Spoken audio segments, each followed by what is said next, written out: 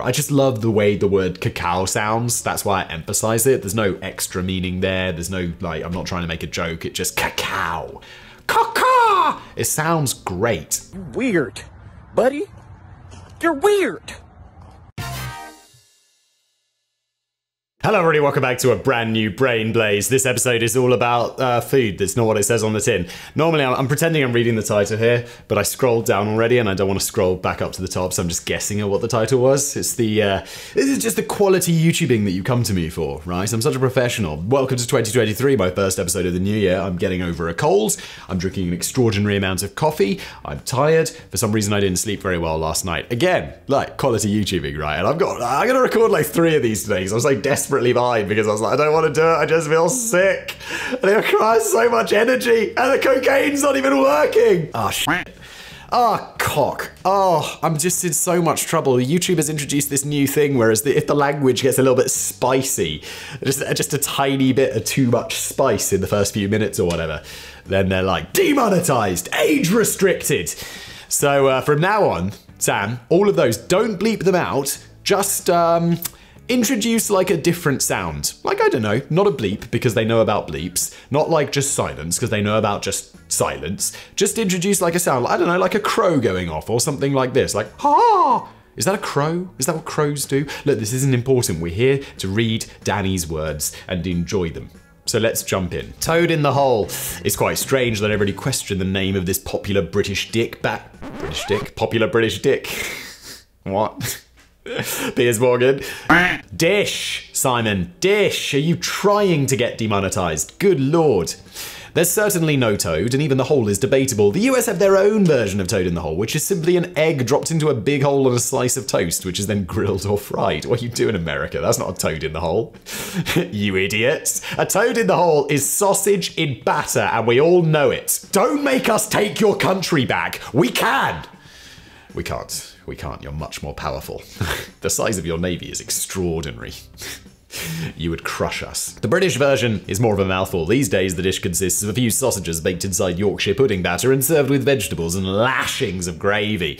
It's a cheap and cheerful comfort food, but I never really got a sense of anything, toad or otherwise, being inside a hole. Well, it's kind of like if you slid the sausage out of the hole. This is getting very erotic, and uh, there'd be a hole remaining in. That's where I always thought the name came from, but I don't know, no one ever does that. You just eat it as a whole thing. I never ate these very much. I never ate Yorkshire puddings very much, even though my nan was from Yorkshire, just because I don't think my parents like them very much, and I honestly don't like them very much. Like, I'd rather have roast potatoes or parsnips or, God forbid, Brussels sprouts, which I actually enjoy.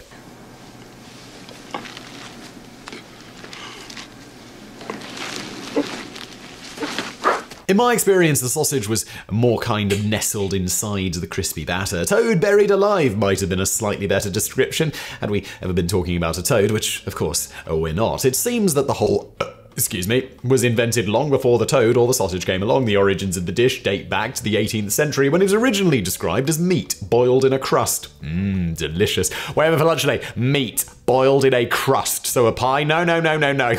don't get any, don't get any. They said, we're not that fancy. It's meat in a crust. Yeah!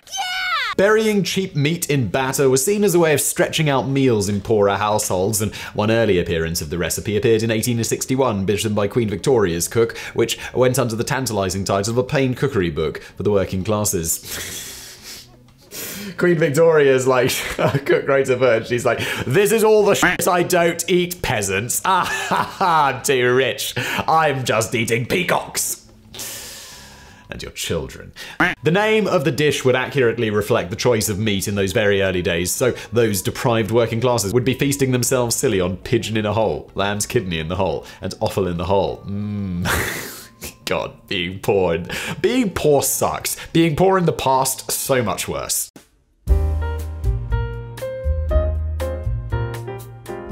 But by the time we reach the end of the 19th century, we appear to have settled on the sausage, albeit a sausage riding under the sneaky pseudonym of a toad. There's a convoluted story which attempts to explain the reason for the strangely unappetizing name. Long ago, a golf tournament was held in the town of Alnmouth in Northumberland on a course which was apparently overrun by natterjack toads. People always are like, Simon, like, I know I've never heard of Natternuth or whatever the fuck it was. I, I, I've never been there, probably will never, I don't even think I've been to Northumbria, to be honest. And people are always like, Simon, how can you, like Americans or like people are not from the UK. They're like, how do you not know how to pronounce that town of that in the in the UK? Even I know how to pronounce that. I'm like, you don't know. How would you know how to pronounce all the random? Have you seen English? It's a fucking nightmare. It's like, how do you pronounce that? Oh yeah, Colonel. How the what the fuck is going on with Colonel? Why? As the star player triumphantly putted his ball into the 18th hole, he was dismayed to see it pop right back up again. The ball had been ejected by a grumpy toad who had been rudely disturbed from a nap in the bottom of the cup. The chefs at the local hotel were also amused by this story that they named a new dish for the golfers that evening, which was supposed to represent the angry toad poking its head out of the golf hole. That's hold, That sounds enormously apocryphal and just like a nonsense story that came around later, and someone wrote it in Reader's Digest or something in a letter. That's almost certainly a load of old bollocks, though. It could be that some versions of the dish just look a bit like the head of a toad peering out of its burrow as it patiently waits for a harvest mouse supper to scuttle into view. Or it could be connected to the mysterious entombed animal phenomenon of the late 18th century, in which mummified remains of many small animals, including toads, were found encased in hollow stones with a tiny opening at one end. That's fucking creepy. Why would you do that? Hollow out a stone, put an element in there, and just wait for it to die? What the fuck are you doing, people in the past? I don't want to sound like I'm a future serial killer, but it's fun. Is this what entertainment was before we had PlayStations and shit? Because I mean, goddamn, RSPCA gonna be pissed. RSPCA is like, um, I don't know, it's like the protection of animals. Royal Society for the Protection of Animals. I'm not sure what that is in America. It's not PETA, because they're like in, they're, they're like fully insane. It's it's more just like, you know, just making sure people don't bully their animals, which is nice. It's a great organization. Or it could just be that someone reckons that the sausage in the hole sounded a bit too rude and subsequently decided to introduce a rogue amphibian into the batter mix. I still think they should have stuck with boiled meat in a crust until a stronger alternative hopped along. Funny, bada bum bum dum. Head cheese. Okay. I like to think of myself as something of a cheese board connoisseur. Kraft slices, laughing cows, cheese triangles, squirty cheese in a can. I've tried them all. Oh, Danny, no. I was just about to say, ooh, Danny gonna make some cheese recommendations. I, I, I discovered Gruyere. This is such a ridiculous conversation. I discovered this cheese called Gruyere. It's fucking great. There's no other cheese like it, and if you haven't had it, you should try it. Omelette de fromage? Oh, Dexter, Dexter. Omelette de fromage. So I'd naturally be very interested in sampling what North Americans like to call head cheese, but I might end up feeling a bit disappointed when I discover that head cheese contains zero dairy products at all. I have no idea what this is. I've absolutely never heard of this before. I'd assume it was some sort of cheese but it's obviously not. And I might even be more disappointed when I realise that I've been served with a jellied and compressed loaf which is made from the boiled head of a pig simmered in seasoned stock. What the fuck is going on? At least the head bit is accurate. I'm just not sure that a vegetarian would be convinced by the cheese part, particularly if they happen to glance into the dead pig's eye sockets during the cooking process. No eyes or ears or brains are found in head cheese, though. These organs are removed before the remainder of the head is boiled and stuffed with savoury jelly. Wait, including the fucking skull. What happens to that skull? That's so weird. There's a skull in there, right? But you should get a nice bit of tongue and cheek if you're lucky. I mean, Danny's being sarcastic there, but I love like beef cheeks, like um, slow cooked beef cheeks, red wine sauce. It's fantastic. And uh, beef tongue, also love it. I, I, don't know, I've never had pig tongue, but I assume it's also good. I went to a restaurant not so long ago where the starter was deep fried pig's ears, and I was like, okay, Okay, and it was delicious. I mean, because it was deep fried and like salted the shit out of, but it was so good. It was like fatty, and my mouth is watering for that right now, which I realize people who haven't had it is slightly weird, and also any vegetarians watching.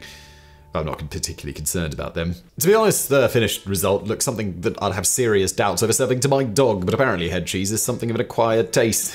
it's just a taste I don't want to acquire. Some things you're like, yeah, it's an acquired taste. Okay, I'm totally cool not acquiring said taste. Thank you very much. The dish dates back to the Middle Ages of Europe, and most of us in the UK would now call this dish brawn. We would? I've never heard of this. I didn't even. okay. Uh, the Scottish go with potted hide, but why does North America insist on bringing invisible cheese onto the menu? Well, it's got nothing to do with actual dairy cheese. It's got more to do with an alternative usage of the word cheese, which stretches back to the 18th century and essentially meant molded or formed. It describes the process of forming ingredients, say most of a dead pig's head, into a loaf, pressing it and chilling it until it becomes solid. I'm assuming, Danny, at some point they've removed the skull from their head in some sort of weird desculling procedure, because otherwise there's going to be very unpleasantly crunchy.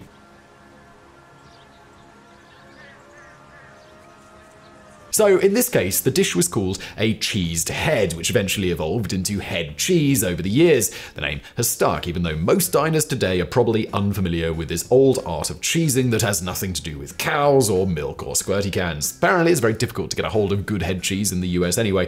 It's a proper pain in the trotter to make it at home, and most of the stuff you find labeled as head cheese in supermarkets is actually just lumps of pork shoulder encased in meat jelly. Why would anyone be like, you know what, we can't get good anymore? Head cheese, the the cook's skull. So we come up with a fake version of that. No one wants that. who is eating? Who is buying this? Let me. If you're buying this and enjoying it in the comments, let me know. There's probably no one down there. I really wouldn't try too hard to find the real deal. Use your loaf on this one and stick with the Kraft slices. Greek yogurt. One of the biggest success stories of the last decade or so is the remarkable use of Greek yogurt. Greek yogurt's weird. Isn't it? It's bad for you and it doesn't taste very good. Why wouldn't I just eat regular yogurt like a normal person? Not in Greece, obviously. They don't even really know what Greek yogurt is, but the hipsters of the US and Europe have recently embraced the benefits of Greek yogurt, which is very similar to normal yogurt, except it's been strained several times to get rid of most of the liquid whey and lactose, resulting in a thicker consistency and a healthier snack packed with more protein and less fat. Okay, I was wrong. I'm sorry. Apparently, Greek uh, Greek yogurt is healthier. I was always kind of like, it's all thick and it tastes bad. Just, just I don't know where I thought it was worse for you then. Okay, well, at least there's that. It's still not very good. You don't know what you're talking about, do you? Back in 2007, this newfangled Greek yogurt only accounted for 1% of the US yogurt market. Today it accounts for more than half of the market. Oh my god. The people are obsessed with the health craze because there's no way people are like, yeah, it's better. It's better. Yeah, once you've added like chocolate and honey, maple syrup, and blended it all together, and then it's like 90% sugar anyway. You're not really eating Greek yogurt anymore, are you? Joke's on you, I'm into that shit! That's probably because many of us have grown to believe Greece was the original home of proper yogurt, and everything else that's come along since then has been a bastardization of the original natural concept. Just a few quick points though. The Greeks probably didn't invent yogurt, strained or otherwise. The concept of strained yogurt is not even particularly Greek. No Greek company or state has ever held any patent to Greek yogurt, and you'd probably be surprised if you ever sampled strained Greek yogurt in Greece. Known locally as Stragisto. I don't know why I'm doing an Italian accent. I went to Greece last year. I can't you know, sometimes you're like, you know, I think it's mostly because there's the stereotypical accents and then that's what you do.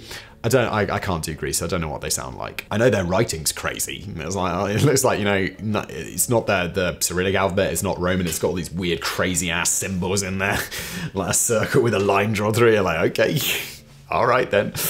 As it tends to be very plain and it's not stuffed with all the fruit flavors and sugar and additives and crap that you'd find in a European or US version of Greek yogurt. Yogurt itself is unlikely to have Greek origins. It was probably first whipped up in around 5000 BC by the Neolithic people of Central Asia and Mesopotamia. The strained variety has been around for centuries, but again, its origins are not directly linked with Greece, as it was most likely developed independently at around the same time in Middle Eastern and Central Asian countries and is today enjoyed around the world without bearing any supposed claims to Greek roots. The Greeks are themselves probably baffled as to why Europe and the US seem to be under the impression that strained yogurt is so thoroughly Greek.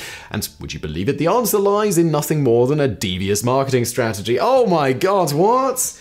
That's shocking news. It's just bullshit marketing from a corporation? That's why it's called Greek. How could you lie to us, companies? We've been so honest with you this whole time, and you betray us. When the Turkish billionaire Hamdi Ulukaya first launched his Chobani brand of strained yogurt in the US in 2007. It was marketed as Greek yogurt. This was partly inspired by the Fage brand of Greek yogurt, which had been selling well in the States for a few years already. But the difference is that Fage are a Greek company who produced their yogurt in Greece. Oh my god, they take the yogurt from Greece and bring it to America? Oh my god. This, this kind of shit, I'm always like, this must be devastatingly bad for the environment. Like when you buy like Florida orange juice, you're just like, oh my god, can't we just get something made in Spain? Florida's so far away. Oh my god. And it's like not from concentrate, so they're just shipping juice with water in it across the oceans. And you're like, oh my god. Society, what have we done? And somehow it's such it's relatively cheap. You're like, ow.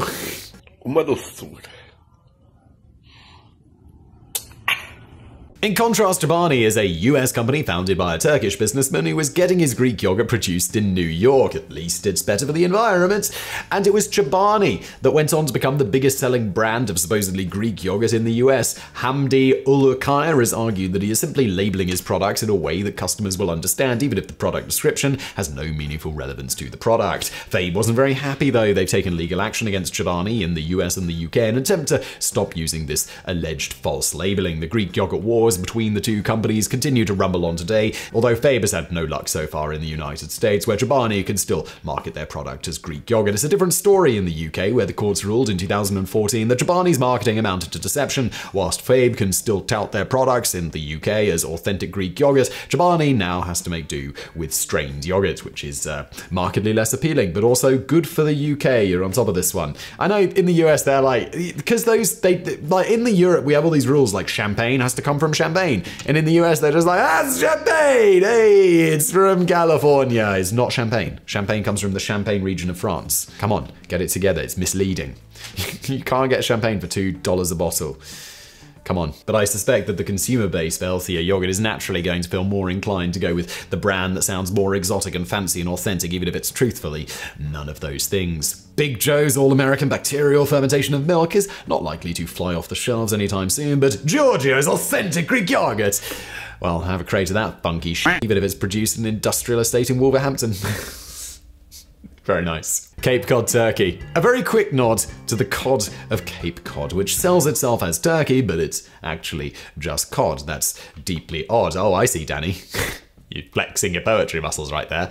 There's certainly something very fishy going on when you order the local specialty Cape Cod turkey in the titular peninsula in Massachusetts. What you'll actually get served with is salted cod, salt pork, potatoes, eggs, and a creamy sauce. Not sure that appeals to me. Like salted stuff and like, you know, I don't know, I'd probably enjoy it. The creamy sauce mixed with it sounds a bit weird though. That that with like the salted stuff sounds like it'll get all curdly and a bit rough. It sounds nice enough, or does it, Danny? but the turkey is noticeable by its absence. So how did this dish ever grow wings? Well, it's probably because Cape Cod has always been famous for its fishing industry, and the early New England settlers were rolling around in more cod than they could ever eat. They had to gobble it all up pretty quickly too in the days before refrigeration. In contrast, turkeys were often trickier to hunt down or afford in the olden days. Believed that some of those early settlers couldn't get hold of traditional turkey to celebrate Thanksgiving, so they had to make do with cod again, but under a playful new name to disguise these salty tears of disappointment. no one's going to be like, oh, wow, this turkey tastes really like cod, but it must be turkey. Oh, just choking on a fish bone. Like, what's going on? It's also funny, like, cod's much more expensive than turkey these days, right? Turkey's like cheap. Cod's, uh, at least I think that's how it is. I don't really know. I don't really eat much cod, to be honest. Lies. Oh, lies! The story may be a load of old codswallop, and I'm curious to know what you ask for in Cape Cod if you actually want turkey. I still think they chose the daft name because Cape Cod cod sounds even more ridiculous. White chocolate. Oh, I know this one. White chocolate is not actually chocolate. I don't think it contains any cacao. I never really had a taste for white chocolate, and I could happily have pushed the Milky Bar kid in front of a horse. Oh, I, I quite like milk chocolate. It's a bit weird, I know, because it doesn't have chocolate in it, but I like it. I haven't seen him around much lately, but ever since 1961, the little blonde haired cowboy with circular gold wire spectacles has been the face of Nestle's Milky Bar on TV commercials as he battles his Wild West opponents with wit and cunning before triumphantly declaring, Milky Bars are on me! I remember this from being a kid. The UK version of the commercial often used the accompanying slogan, That's the goodness that's in Milky Bar, before it reluctantly evolved into That's the good taste of Milky Bar, on the grounds that, of course, there's no goodness in Milky Bar, it's not a bloody banana. Is that true? I swear I remember Milky Bars are on me. I feel that we did have that. Milky Bars are on, otherwise, how would I know how to say it? Is that how he says it? Maybe I'm just like false memorying this. Or when I hit the age of around 13 and I had been transferred to the roughest school in Britain. Holy shit, really? Danny, that's intense. That's probably rough. I briefly went through a phase of wearing circular gold wire spectacles. My family had told me that they made me look like John Lennon, which I thought was quite a cool look at the time. Yeah, if you want to look like a bell end. Unfortunately. Sorry, I don't like John Lennon. Unfortunately, the ruffians at my new school had clearly never heard of John Lennon, so for the next six months, I was branded the Milky Bar Kid. I was hounded on a daily basis to deliver the slogan "Milky Bars are on me" to avoid. I shouldn't be laughing at this. Ah, Milky Bars are on me, so I avoid getting punched in my circular gold wire spectacles. Maybe that's why I really don't care for Milky Bars or white chocolate in general these days, as I can't deal with the traumatic flashbacks. Or maybe it's just because I find white chocolate to be sickly sweet, and I'm not sure how it can be legally branded as chocolate. It's a contentious topic, though. When Swiss company Nestle develops their first major commercial white chocolate in 1937, it was apparently an attempt to do something useful with all the leftover milk powder following the end of the First World War. God, you're so disgusting. That's not white chocolate. That's your dick. I know, well, you know. See, I'm one of the, I know this is a boring tangent that no one cares about, but like my parents, whenever I go stay with them or whatever, they're like, "Oh, do you want a little bit of chocolate?" I'm like, "No!" Because they'll whip out some like 80% cacao shit. And I'm like, this isn't chocolate. I mean, I know it's technically chocolate, but it's also like, why would I enjoy this tiny, thin, bitter monstrosity? It, it doesn't taste good at all. How can you enjoy this? Daddy, chill. And I would be like much more like inclined to just I want the sickly sweet milk chocolate, which is weird because I'm normally not like a sweet person. Like I'll always go for the savory snacks. Oh my god, Simon, no one cares. Just get on with the bloody script. I was like, new resolution 2023: stop telling people things they don't care about because no one cares. Woo! Let's carry on. Now the customers were able to go back to buying fresh milk again. This left tons of unwanted milk powder supplies to shift, leading Nestle to develop the Milky Bar, or the Galak Bar, as it's known in continental Europe and Latin America. I live in continental Europe. I've never seen a Galak Bar. I've never actually seen a Milky Bar. Maybe they're just not very popular.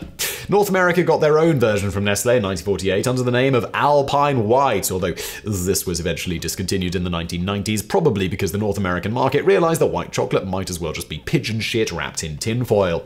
But why call it chocolate in the first place? Real chocolate is traditionally defined as containing cacao solids. After the cacao bean has been. I just love the way the word cacao sounds. That's why I emphasize it. There's no extra meaning there. There's no, like, I'm not trying to make a joke. It just cacao. Caca! It sounds great. Weird. Buddy, you're weird. After the cacao bean has been removed from the pod and mucked about with, you're left with the nib, which can be separated into cacao solids containing all the flavour of true chocolate, and cacao butter, which is essentially just the fat which helps to deliver the rich texture. So far, so yummy, but the problem with so called white chocolate is that it doesn't use any of the flavoursome cacao solids, it just sticks instead with the cacao butter. Wait, is this cocoa butter? When did we switch from cacao to cocoa? I realise I'm reading it wrong. Was there a cacao seed and then a cocoa butter? Oh my god, why is it why is this so complicated? Are they the same word? I don't even know. Am I gonna look it up? No. No, I'm not gonna go back and record this whole thing again. Are you insane? I got shit to do. And just sticks instead with the cocoa butter. This tastes foul on its own, so it's mixed with milk solids, milk fat, vanilla flavoring, and sugar to make the whole concept more bearable. Yeah, white chocolate sounds horrible, but somehow it's good, Danny. I don't know what to tell you. But it still feels a bit like cracking open an egg, discarding the yolk and sprinkling crap all over the egg white. White chocolate doesn't fall under the FDA's legal definition of milk chocolate, which must contain at least 10% cocoa mass made up of equal parts cocoa solids and cocoa butter. But it did get an FDA definition of its own in 2004, which states that white chocolate must contain at least 20% cocoa butter. The FDA was pressured into coming up with a new definition in response to complaints from Hershey's Foods and the Chocolate Manufacturers Association of America that some companies were marketing white chocolate which contained only vegetable oils or cheap fat instead of proper cocoa butter. The complaint seemed to be based on the idea that it's unscrupulous to market a fake version of fake chocolate. Not everyone agrees that white chocolate is little more than an enduring white lie. Some respected food experts reckon that the inclusion of cocoa butter alone is enough to justify the name, as it all comes from the same bean. But I would still consider it to be chocolate confectionery rather than pure chocolate, and that's where we end today's video. Thank you so much for watching. Smash that like button. Yes.